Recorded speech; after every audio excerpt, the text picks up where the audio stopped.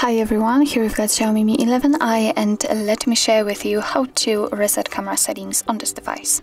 So let's enter the camera app uh, first of all and I hope that you can see the grid lines which are applied on the camera. I've um, turned them on before I've started re the recording because I wanted to show you the actual evidence, the visual evidence that the reset option will work.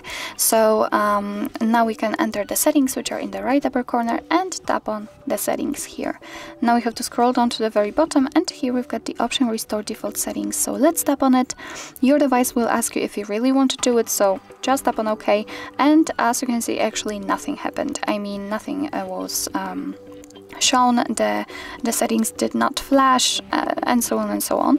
But after getting back to the camera we can see that here we've got the first evidence because your device uh, just opens the information which um, it usually open opens when uh, when you're uh, turning on the camera for the very first time. So we've got the welcome to camera and so on and so on. So just tap on allow.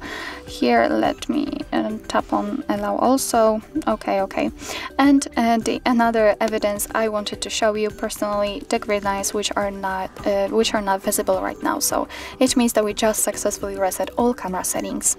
So actually this is it. This is how to reset camera uh, app in your Xiaomi Mi 11i Thank you so much for watching, I hope that this video was helpful and if it was, please hit the subscribe button and leave the thumbs up.